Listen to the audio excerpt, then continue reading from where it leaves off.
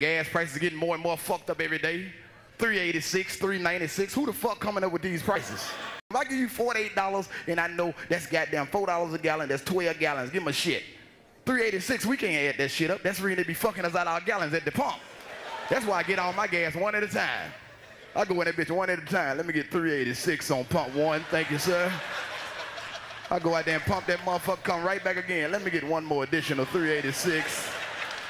Go pump that motherfucker and come right back again. Nigga, I don't mean to fuck with you, but I want one more 386.